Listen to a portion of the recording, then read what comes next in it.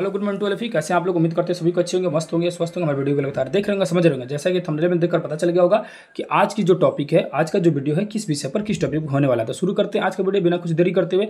ये है बिहार बोर्ड का, ठीक है? बिहार बोर्ड का कौन सा है? ना, छठे क्लास का, हमारी दुनिया, जिसको हम लोग, क्या बोलते हैं लोग, किताब का नाम लिखा होगा, हमारी दुनिया, ठीक है? लेकिन इसको बोला जाता है भूगोल यानी ज्योग्राफी ठीक है? इसका पहला अध्याय अध्याय का नाम देखेंगे तो हमारा सौर मंडल, ठीक है? अब यानी सौर मंडल के बारे में डिटेल से समझना है डिटेल से पढ़ना ठीक है? एक एक करके सारे पॉइंट को समझेंगे। मैं पहले इसको जो इंपॉर्टेंट है उसको मैं मार्क कर लिया हूँ, ठीक है? आपको कोई परेशानी नहीं होगी, क्योंकि पूरा बुक को पढ़िएगा और जो मैं इसको जितना मार्क किया हूँ, इसको समझ लीजिएगा तो पूरा ये जो चैप्टर जो है कंप्लीट समझ आ जाएगा, ठीक है? तो यहाँ देखेंगे तो गोविंद जो है ना, अपने पिताजी से बात करता है, ठीक है?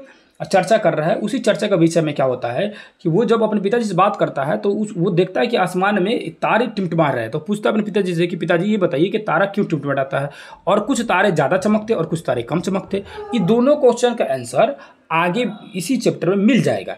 लेकिन सिंपल समझिए कि तारा चमकता क्यों है? थोड़ी सी मैं बता दे रहा हूँ कि तारों के पास अपनी ऊर्जा और अपनी प्रकाश, अपनी लाइट होती है, इसलिए चमकते हुए दिखता है, ठीक है?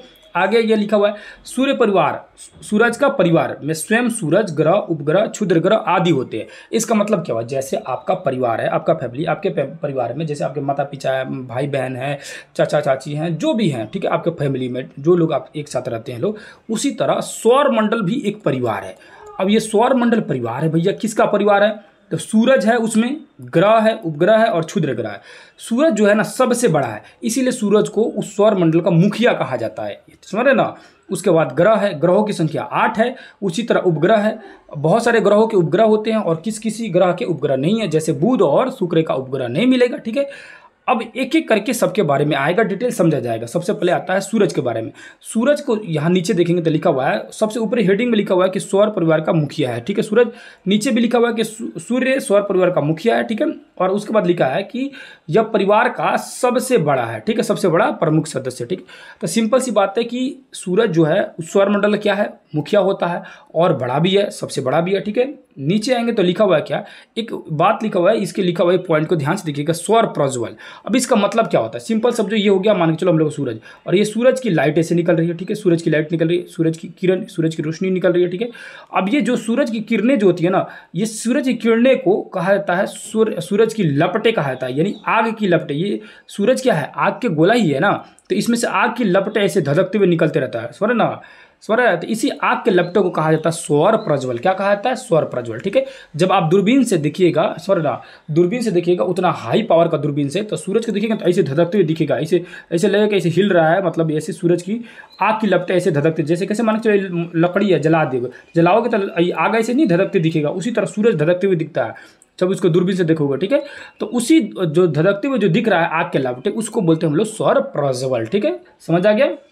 उसके बाद लिखा है कि सूर्य जो है पृथ्वी से सूरज क्या है बहुत बड़ा है, बहुत बड़ा है। कितना बड़ा है? तो यहाँ उदाहरण के लिए समझा है कि क्रिकेट का बॉल ले लो। मान चलो ये हम लोग का क्रिकेट का बॉल हो गया और पृथ्वी उसके सामने क्या है? राई के दाने के समान है। यानी ये हो गया पॉइंट एकदम, ये समझो कि राई के दाने के बराबर है। यानी ये हो गया अगर सूरज तो ये हो गया हम लोग का पृथ्वी, ये राई के दाने के बराबर। समझ इतना बड़ा है सूरज मतलब कि सूरज बहुत बड़ा पृथ्वी, उसके सामने एकदम छोटा सा बच्चा के बराबर है, ठीक है? आगे आइए, आगे लिखा हुआ है, ये आठ गोले परिवार के सदस्य होते हैं, इन्हें ग्रह कहते हैं। अभी मैंने बताया कि कि ग्रहों की संख्या कितनी है? तो आठ है ग्रहों की संख्या। अब एक एक ग्रह के बारे में यहाँ दिया हुआ है, उससे पहले यहाँ लिखा हुआ है कि इनके प्रकाश नहीं होते। इसका मतलब क्या हुआ कि सूरज के अलावा जो भी है जैसे ग्रह है, उपग्रह है, क्षुद्र ग्रह, इन सभी के पास अपना प्रकाश नहीं होता है। सिर्फ़ सूरज जो है, इसके पास अपना प्रकाश होता है। इस सौर मंडल में सौर मंडल में देखा जाए तो सूरज के पास ही अपना प्रकाश होता है। अब कहेगा कोई ना कोई बच्चा कि रात में चंद्रमा हम लोग को चमकते हुए दिखता है। तो कैसे चमकता है? उसको प्रकाश नहीं है तो सिंपल समझो कि कभी हम लोग बचपन में क्या करते थे? स्कूल में आप लोग भी करते होंगे। एक शीशा रखते हो, मिरर रखते हो। और सूरज की रोशनी जो आता है ना, उस शिशुआ पर ऐसे क्या करता है लोग ऐसे चमकाते हैं लोग चमक के किसी के फेस पर, चेहरा पर चमकते हुए ऐसे पड़ता है, ठीक है?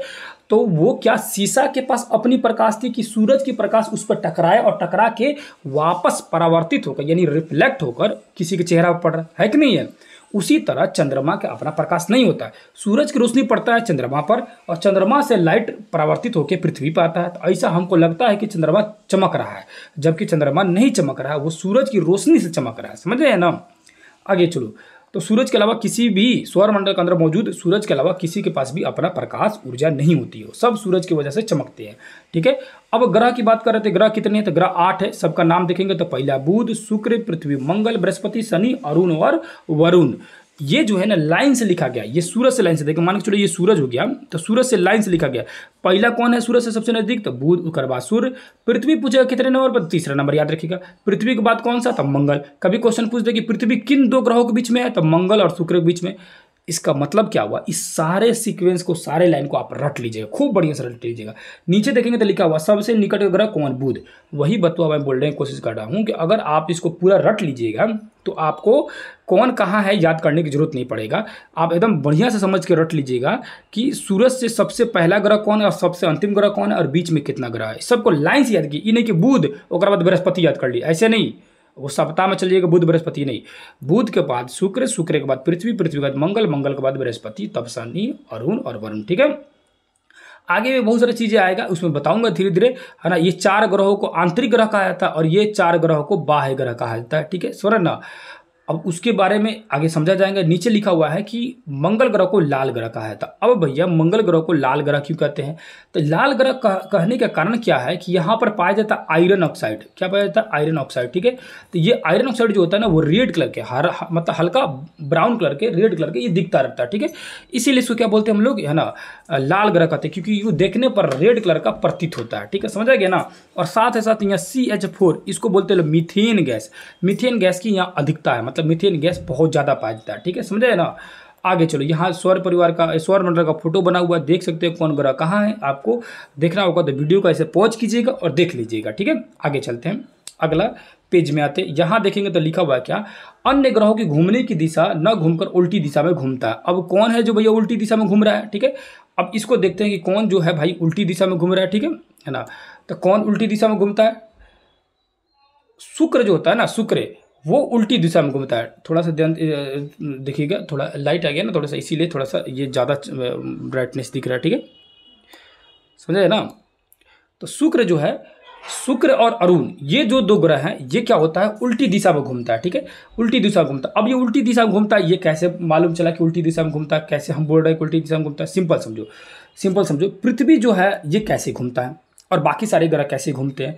सिंपल समझो, ये हम लोग का पृथ्वी हो गया और ये मान के चलो हम लोग का सूरज हो गया, ठीक है? ये क्या हो गया? सूरज हो गया, ठीक है? सूरज हो गया। अब पृथ्वी जो है, ये ऐसे घूम रहा है या उल्टा ऐसे घूम रहा है, ये कैसे मालूम चलेगा, ठीक है? अब इसको जानने के लिए सिंपल समझो, जब आप किसी ट्रेन में बैठे रहते देखो ट्रेन में ऐसे बैठे रहते हो ट्रेन में आप बैठे हो, ठीक है? अब ट्रेन में बैठे हो तो बाहर की तरफ़ आप देखिएगा तो बाहर में जो भी पेड़ पौधा है, जो भी पेड़ पौधा है तो ट्रेन जब आगे बढ़ता है ना तो पेड़ पौधा आपको पीछे की तरफ़ भागते हुए दिखते हैं। दिखता है कि नहीं दिखता है? तो ये बताओ का पेड़वा पीछे भाग रहा है कि आपका ट्रेन आगे बढ़ रहा है? ट्रेन आगे बढ़ रहा है, सिंपल बात है कि नहीं? लेकिन ऐसा लगता है कि बाहर का जो चीज़ें हैं, खिड़की से जब देखिएगा तो लगेगा वो पीछे भाग रहा है।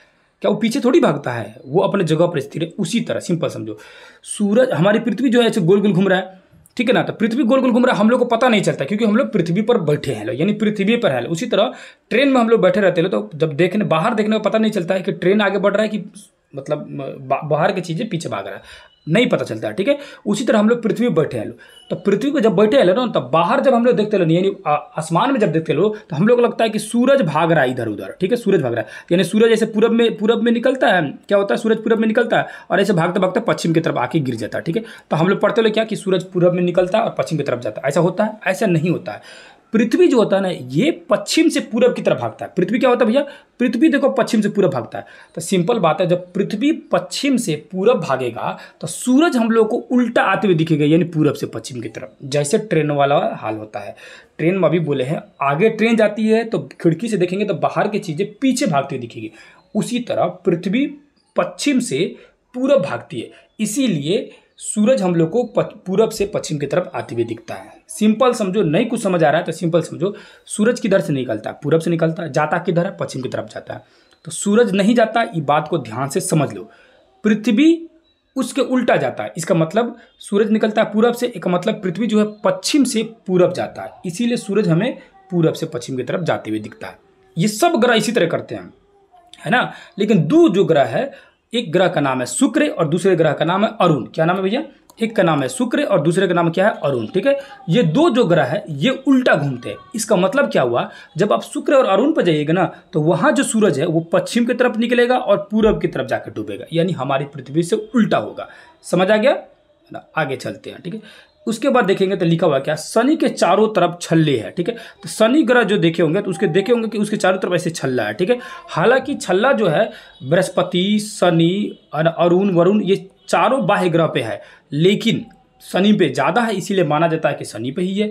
लेकिन आगे जब पढ़िएगा एन वगैरह में तो उसमें दिया गया है कि बाह्य जितने भी ग्रह है, बाह्य ग्रह जो चार को बताए हैं, बृहस्पति, शनि, अरुण और वरुण, इन चारों ग्रहों पर छल्ले होते हैं। अब छल्ले क्या होता है? मतलब क्या होता है छल्ला का? कि जो ग्रह है ना, इसके चारों तरफ़ छोटे छोटे टुकड़े घूमते रहते हैं। उसी को बोलते हैं छल्ले या रिंग्स बोलते हैं। क्या बोलते हैं भैया? रिंग्स बोलते हैं, ठीक है? आगे चलो, ठीक है? आगे समझते हैं। उसके बाद देखेंगे तो लिखा हुआ है, प्लूटो, जिसकी गणना पहले ग्रह के सॉरी ग्रह के रूप में होती थी, उसको अब क्षुद्र ग्रह कहा जाता है, उसको बोना ग्रह भी कहा जाता है। ये हुआ क्या कि प्लूटो जो था ना, पहले इसको ग्रह माना जाता था, लेकिन ग्रह का मतलब क्या होता है? ग्रह उसे कहते हैं जो सूरज की परिक्रमा लगाए। ग्रह की परिभाषा होता है कि वो आकाशीय पिंड, यानी आसमान में वो प्राकृतिक चीज़ें या आकाशीय पिंड जो सूरज की परिक्रमा लगाए, उसे ग्रह कहेंगे। और जो ग्रह की परिक्रमा लगाए, उसे उपग्रह कहेंगे। होता क्या था? प्लूटो कभी कभी सूरज की परिक्रमा लगाता था और कभी कभी किसी दूसरे ग्रह की परिक्रमा लगा लेता था। यानी कि ये बीच बीच हुआ था। इसका मतलब क्या है कि ये ना ही किसी ग्रह का परिक्रमा लगाता था और ना ही कभी आ, उप, ये सूरज की परिक्रमा लगाता था। ठीक है? सिंपल बात क्या है कि इसकी मन मर्ज़ी अपनी रास्ता ये भटक जाता था। कभी सूरज की परिक्रमा लगाएगा और कभी किसी ग्रह का परिक्रमा लगा लेते। वैज्ञानिक जाना कि भाई साहब, इसको ये तो ना ही ग्रह की तरह दिख रहा है, क्योंकि ग्रह रहता तो सिर्फ़ सूरज का परिक्रमा लगता और उपग्रह रहता तो सिर्फ़ ग्रह की परिक्रमा लगाता। ये दोनों की परिक्रमा लगा रहा इसका मतलब क्या है? ये इसको बीच में रख देता इसलिए इसको बौना ग्रह, छोटा ग्रह या क्षुद्र ग्रह भी कहा जाता है। ठीक है? समझ आया ना? आगे चलते। यहाँ पर देखेंगे तो लिखा हुआ है कि तारों का अस, तारों का अपना प्रकाश होता है, चूँकि ये तारे आप, काफ़ी दूर है, इसीलिए टिमटिमाते हुए नज़र आते हैं, ठीक है?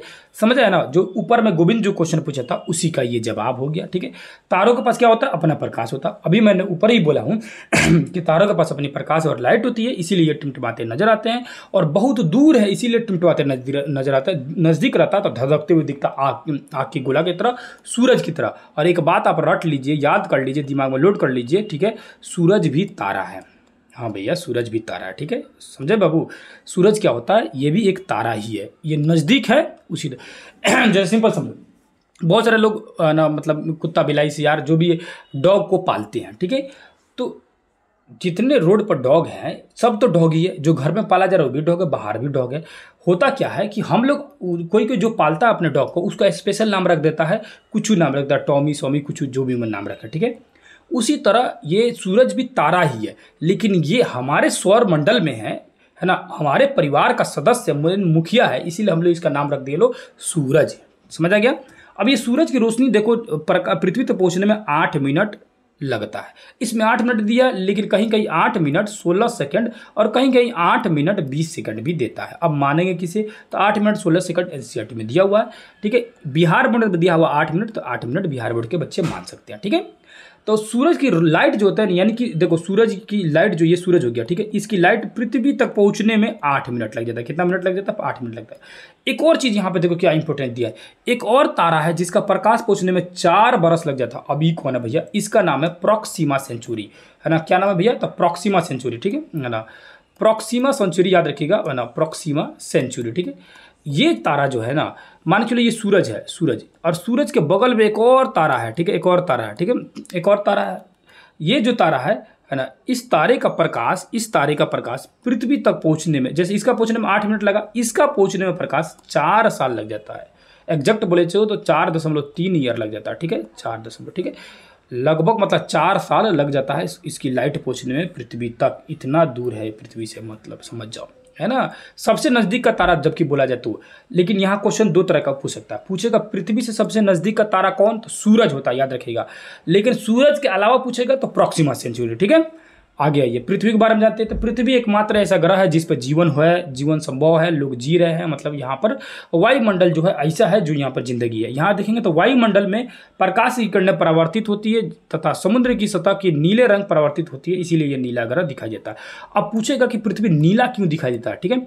तो परावर्तन के कारण। किसके परावर्तन के कारण? तो नीले रंग के परावर्तन के कारण। नीला रंग कहाँ से आया? तो समुद्र के कारण आया। समुद्र का जो पा, पानी जो है कलर जो है इस नीले रंग का समुद्र का सतह जो है नीले कलर का दिखता है। और इसका रिफ्लेक्शन मतलब कि परावर्तन है ना? परावर्तन के कारण हमारी पृथ्वी जो है किस किस तरह दिखता है? नीले ग्रह के रूप में दिखता है, नीला ग्रह इसलिए कहा जाता है।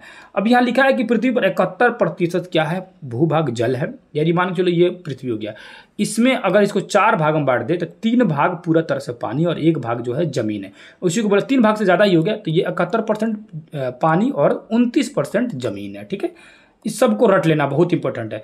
आगे हम, यहाँ लिखा है चंद्रमा के बारे में। चंद्रमा जो है पृथ्वी की परिक्रमा कितना दिन में? सत्ताईस दिन आठ घंटा में लगाता है अब सुनो ध्यान से, चंद्रमा जो होता है ना, घूर्णन और परिक्रमण, एक ही साथ कर लेता है। घूर्णन मतलब होता है अपने जगह पर गोल गोल घूमना, जैसे मतलब ये गोल गोल घूमना घूमना ठीक है? और ऐसे घूमना, परिक्रमण। तो उपग्रह परिक्रमा करते हैं, ग्रह का, ग्रह परिक्रमा करते हैं सूरज का, ठीक है? तो चंद्रमा क्या है? पृथ्वी का उपग्रह है, ठीक है? तो ये परिक्रमा किसका करेगा? पृथ्वी का करेगा। कितना दिन में परिक्रमा करता है? तो सत्ताईस दिन आठ घंटा में परिक्रमा कर लेता है, ठीक है? एक और चीज़ यहाँ इंपॉर्टेंट लिखा हुआ था, इसका प्रकाश पृथ्वी पहुँचने में सवा सेकंड लगता है। याद रखिएगा, एक दशमलव दो यानी लगभग सवा सेकंड का समय लग जाता है है ना? ये चंद्रमा का पृथ्वी तक पहुँचने में प्रकाश काहे लगता है भैया? तो कारण क्या है? ये नज़दीक है, और वही सूरज जो था बहुत दूर था। कितना दूर था? तो अगर इसको रटना होगा तो याद कर सकते हैं, लगभग पंद्रह करोड़ किलोमीटर दूर है। पंद्रह करोड़ किलोमीटर की दूरी है। है ना, सूरज और पृथ्वी की। लेकिन चंद्रमा की दूरी कितनी है? तो तीन लाख चौरासी हज़ार किलोमीटर की दूरी है। तीन लाख चौरासी हज़ार चार सौ मान सकते हैं, चार सौ किलोमीटर, है ना? तीन लाख चौरासी हज़ार चार सौ किलोमीटर इसकी दूरी है पृथ्वी और चंद्रमा की। रट लीजिएगा, याद कर लीजिएगा, दिमाग में लोड कर लीजिएगा, ठीक है? चंद्रमा और पृथ्वी के बीच की दूरी तीन लाख चौरासी हज़ार चार सौ किलोमीटर और पृथ्वी और सूरज के बीच की दूरी पंद्रह करोड़ किलोमीटर, लगभग पंद्रह करोड़ एग्जैक्ट होता है चौदह दशमलव नाइन सिक्स, यानी छियानवे होता है। ये किलोमीटर होता है, करोड़ किलोमीटर, लेकिन लगभग आप पंद्रह करोड़ किलोमीटर मान सकते हैं, ठीक है? यहाँ देखेंगे तो चंद्रमा लिखा हुआ है कि इस पर ना जल है, ना वायु है मैंने चंद्रमा पर ना हवा है, ना पानी है, कुछ नहीं है। होता क्या, दिन में बहुत ही गर्म और रात में बहुत ही ठंडा हो जाता है यहाँ का तापमान। यानी दिन बहुत ज़्यादा गर्म हो जाता है और रात में बहुत ज़्यादा ठंडा हो जाता है, ठीक है? आगे आएँगे तो लिखा हुआ है, बृहस्पति का तिरसठ उपग्रह और और शनि के बासठ है। यानी ज़्यादा किसके पास उपग्रह है? तो बृहस्पति के, बस इतने याद रखो। हालाँकि अभी जो है तिरासी उपग्रह हो चुके हैं बृहस्पति के और शनि के, लगभग अस्सी, इक्यासी हो चुके हैं, ठीक है? इतने याद रखो, बृहस्पति का ज़्यादा उपग्रह और शनि के उससे कम है, ठीक है? सेकंड नंबर पर शनि है, फ़र्स्ट नंबर पर बृहस्पति है, ठीक है? शनि के एक उपग्रह का नाम दे दिया टाइटन। अब क्वेश्चन पूछ दे कि टाइटन किसका उपग्रह है? तो शनि का उपग्रह है, याद रखिएगा। बृहस्पति का एक उपग्रह है, उसका नाम है गैनीमेड। क्या नाम है? गैनीमेड। और ये सौर मंडल का सबसे बड़ा उपग्रह है। याद रखिएगा, सबसे बड़ा उपग्रह तो गैनीमेड। और सबसे बड़ा ग्रह तो बृहस्पति। सबसे छोटा ग्रह तो कौन सा होता है? तो बुध। और सबसे छोटा उपग्रह तो फोबोस और डिमोस। मैंने किसका है? तो मंगल ग्रह का, डिमोस। ठीक है? मंगल ग्रह का क्या है? डिमोस उपग्रह है, जो सबसे छोटा है। ठीक है? याद रखिएगा, ठीक है? मंगल का है। शनि के उपग्रह का नाम टाइटन, याद रखिए, ठीक है? आगे चलते हैं, आगे आते हैं। यहाँ देखेंगे तो क्षुद्र ग्रह के बारे में लिखा है। अब ये क्षुद्र ग्रह क्या होता है? देखो, मंगल ग्रह, है ना, मंगल और बृहस्पति के बीच में छोटे छोटे छोटे आकाशीय पिंड ऐसे घूमते रहते हैं, ठीक है? इसको हम लोग क्षुद्र ग्रह बोलते हैं। तो पूछेगा कि क्षुद्र ग्रह किरके किर के बीच में होता है? तो मंगल और बृहस्पति के बीच में, याद रखिएगा, ठीक है? मंगल और बृहस्पति के बीच में, ठीक है? सबसे बड़ा क्षुद्र ग्रह जो है, उसका नाम क्या है? तो याद रखिएगा, सीरस। ये क्वेश्चन इंपॉर्टेंट है, पूछ सकता है कि सबसे बड़ा क्षुद्र ग्रह कौन सा है? तो सीरस है। यहाँ एक डाटा दिया हुआ है, चार्ट दिया हुआ है कि कौन सा ग्रह कितने दिन में घूर्णन करता है, परिक्रमण कितने दिन में करता है तो यहाँ बुध के देखिएगा तो अट्ठावन दिन में घूर्णन, परिक्रमण, सतासी दिन, लगभग अट्ठासी दिन मान लिया जाता है, ठीक है? समझ ना? इसका उपग्रह एक भी नहीं है। शुक्र का देखेंगे तो दो दिन में घूर्णन और परिक्रमण 224 दिन में। यानी कि सूरज का चक्कर पहले लगा लेता है और अपने जगहिया पर धीरे धीरे घूमता है। इसीलिए इसको कोड़िया ग्रह, समझ ना? बहुत स्लो घूमने वाला ग्रह भी कहा जाता है, ठीक है? अब इसका उपग्रह नहीं है। बुध और शुक्र के दोनों का उपग्रह नहीं है। पृथ्वी देखेंगे तो पृथ्वी का जो अपने जगह पर घूमना कितने देर में होता है? तो चौबीस घंटा में। वही लिखा है, तेईस घंटा तेईस मतलब तेईस घंटा, लगभग तेईस दशमलव नौ घंटा लिखा हुआ है। उसको मान सकते हैं पूरा चौबीस घंटा, ठीक है? और परिक्रमण कितना दिन में करता है? आप सभी को पता है, तीन सौ पैंसठ दिन छः घंटा में करता है, ठीक है? ना? तो वही छः घंटा बाद में चार साल में लिप ईयर हो जाता है छः छः घंटा जोड़ के चौबीस घंटा हो जाता है तो बाद में लिप ईयर उसको कर दिया जाता है, जो कि 2024 में ये लिप ईयर है। अब पता करेंगे कैसे कि कोई लिप ईयर है? एक बार मैं अपने क्लास में बच्चों को बता चुका हूँ, आप सभी भी जान लीजिए कि लिप ईयर जानने का तरीका क्या है? उसको चार से डिवाइड कीजिए, किस, कोई भी साल, जैसे कि मान चलो कि दो हज़ार बीस लिखा है, इसको चार से डिवाइड कीजिए। अगर ये चार से पूरा पूरा कट जाता है, इसका मतलब क्या है? ये लिप ईयर है। जैसे अभी है दो हज़ार चौबीस, इसको चार से डिवाइड कीजिए चार से पूरा पूरा कट जाता है, इसका मतलब क्या है, ये लिप ईयर है, ठीक है? है कि नहीं? तो आप लोग कमेंट करके बताइएगा क्या ये 2024 जो है लिप ईयर है या नहीं है, ठीक है? उसी तरह मंगल का देखेंगे तो 24 घंटा भी अपने जगह पर भी घूम जाता है, लेकिन परिक्रमा करता है सूरज का छः सौ सतासी दिन। उसी तरह बृहस्पति का, शनि का, यूरेनस का, नेपच्यून का, यानी अरुण वरुण सबका दिया है। वीडियो पॉज कीजिएगा, इसको रट लीजिएगा, दिमाग में लोड कर लीजिएगा, बहुत ही इंपॉर्टेंट है, ठीक है? आगे चलो, आगे देखेंगे तो यहाँ लिखा हुआ है, अनुसंधान खोजो उपरांत प्लेटो को ग्रहों की सूची में से निकाल दिया गया, ठीक है? नीचे देखेंगे तो उल्का पिंड। अब ये उल्का पिंड क्या होता है? अभी जो बोले हैं, जो क्षुद्र ग्रह होता है, जो छोटे छोटे आकाशीय पिंड होते हैं ये कभी कभी पृथ्वी की तरफ़ गिरने लगते हैं, पृथ्वी की तरफ़ आने लगते हैं। जब ये पृथ्वी की तरफ़ आते हैं तो इसको बोलते उल्का, जब गिर जाता है तो बोलते पिंड, यानी ये उसका नाम पूरा हो गया उल्का पिंड, ठीक है? आगे चलते, आगे समझते हैं। ये देखो ध्रुव तारा की कहानी दे रहा है। अब ये ध्रुव तारा क्या है? और यहाँ एक बात लिखा हुआ है ध्रुव तारा क्षितिज पर दिखाई अब क्षितिज क्या होता है? मान के चलो कि हमारा ये पृथ्वी है, ठीक है? ये पृथ्वी है, ठीक है? और यहाँ दिख रहा है ध्रुव तारा ठीक है? और हम पृथ्वी से जब इस ध्रुव तारा को देख रहे हैं तो लगेगा कि काफ़ी दूर है, लेकिन जैसे जैसे नज़दीक जाएगा, ये और ऊपर उठते जाएगा, और ऊपर उठते जाएगा, ठीक है? उसको बोलते हैं ध्रुव तारा मतलब सॉरी क्षितिज बोलते हैं। अब क्षितिज के सिंपल भाषा में समझो कि आकाश और पृथ्वी के बीच की दूरी दिखने वाली आभासी दूरी, आभासी मतलब क्या? एग्जैक्ट दूरी तो मालूम नहीं चल रहा। है ये आकाश में दिख रहा है तारा और ये हमारी पृथ्वी। इसके बीच की जो दूरी है, इसी को बोलते हैं क्षितिज, ठीक है? तो जब आप ध्रुव तरह की तरफ़ बढ़िएगा तो क्षितिज और ऊपर बढ़ते जाएगा, क्योंकि जैसे नज़दीक जाएगा तो ध्रुव तरह और ऊपर दिखने लगेगा और दूर रहिएगा ना तो ये नीचे दिखाई देगा, ठीक है? इसी को क्षितिज बोला जाता है। अब ये ध्रुव तरह होता क्या? ध्रुव तरह से हम लोग को उत्तर दिशा का पता चलता है। पुराने समय में दिशा का नहीं पता चलता ना तो उससे उत्तर दिशा का, नॉर्थ दिशा का पता चल जाता था ध्रुव तारा सा, ठीक है? अब यहाँ लिखा है कि बारह होती है। क्या होती है भैया? राशि। अब राशियों की संख्या कितना? बारह। सारे राशि का नाम दिया मेष वृषिन मिथुन कर सिंह, कन्या, तुला ना, वृश्चिक, धनु मकर, कुंभ, मीन। मीन, आप सभी बच्चे कमेंट करके बताइए कि आपका कौन सी राशि है, ठीक है? आप लोग आपके जो किस राशि में आपका नाम आता है या आप किस राशि से बिलोंग करते हैं, ठीक है? उसके बाद लिखा है यहाँ पर है ना? नक्षत्रों की संख्या यहाँ पर लिखा पृथ्वी चारों ओर तारों का समूह है, जिसे हम लोग, जिसकी संख्या सत्ताईस है, इसे हम लोग क्या बोलते हैं? नक्षत्र कहते हैं। तो याद रखिएगा नक्षत्र कितना है तो याद रखिएगा सत्ताईस कितना? Twenty seven. राशियाँ कितनी है? तो राशियाँ है बारह, ठीक है? राशि कितना है? बारह है। इसी सत्ताईस नक्षत्र को ही बारह कैटेगरी में बांट दिए गए, उसी को हम लोग राशि राशि कहते हैं। अब ये नक्षत्र किसे कहते हैं? तो तारों का समूह है, ग्रुप है, इसी को नक्षत्र कहा जाता है, ठीक है? अब एक नक्षत्र को पार करने में पृथ्वी को कितना समय लगता है? तो चौदह दिन लगता है। कितना लगता है भैया? चौदह दिन लगता है। याद रखिएगा, नक्षत्र को पार करने में पृथ्वी का समय कितना लगता है? चौदह दिन लगता है। आगे आएँगे तो लिखा हुआ ये आकाश गंगा आकाश गंगा किसे कहते हैं? तारों के समूह को है ना पूरे तारों के ग्रुप को, है ना, जिसमें लगभग असंख्य तारे हो जाएँगे, सौ अरब से भी ज़्यादा तारे होंगे, उसको कहेंगे आकाश गंगा ठीक है? अब यहाँ ऋषियों के नाम पर क्या रखा गया तारों के समूह का नाम रखा यहाँ सप्तर्षि तारा है। अब ये सप्तर्षि तारा क्या होता है? ऐसे सात को तारा आप आसमान में कभी देखे होंगे, ऐसे दिखा होगा, ठीक है? ये है सप्तर्षि तारा, ऐसे डिज़ाइन बनाता है ठीक है? चम्मच की तरह डिज़ाइन बनाता है इसको बोलते हैं लोग सप्तर्षि तारा। नीचे देखेंगे तो यहाँ पर मिल जाएगा। ये देखो, ये है सप्तर्षि तारा, ठीक है? ये है सप्तर्षि तारा। इसी सप्तर्षि तारा से देखेंगे तो ध्रुव तारा आपको इसी के सीधा दिखाई देगा, ध्रुव तारा, ठीक है? इसी ध्रुव तारा अब यहाँ इसका नाम रखा गया ठीक है ना? इसका नाम देखेंगे तो ऋतु पुला पुलुस से अत्रि वरिष्ठ अंगी अंगीरा अंग, और मरीची ये ऋषियों का नाम रखा गया ऋषि मुनि का नाम रखा ठीक है? उसी तरह इसको यूनानी ग्रंथ में भी नाम रखा गया alpha beta gamma delta and epsilon eta और जेटा नाम रखा गया। आप चाहें तो याद कर सकते हैं ऋतु और पुला जो है यानी जो अभी दो बताया इसे सीधे देखेंगे तो ध्रुव तारा मिल जाएगा ठीक है? ध्रुव तारा मिल जाएगा ठीक है? आगे आते हैं। आगे आएँगे तो ये क्वेश्चन आंसर हमारा शुरू हो जाता है, ठीक है? इसमें क्वेश्चन आंसर देखेंगे। क्वेश्चन आंसर का सीक्वेंस यहाँ से शुरू है, ठीक है? क्वेश्चन आंसर देखेंगे तो लिखा हुआ राशियों की संख्या कितनी? ऊपर अभी बताया राशियों की संख्या बारह होती है। बारह राशियों का नाम आप लोग चाहें तो याद कर सकते हैं। सूरज की आकृति कैसी होती है? तो सूरज की आकृति जो कैसा है, गोल है, ठीक है? सौर परिवार का मुखिया कौन होता है? तो सूरज होता है। ग्रहों की संख्या कितनी होती है? आठ, ठीक है? याद रखिएगा, आठों ग्रह का नाम याद करा दिए सप्तर्षि, यहाँ लिखा है कि सप्तर्षि ना? कितने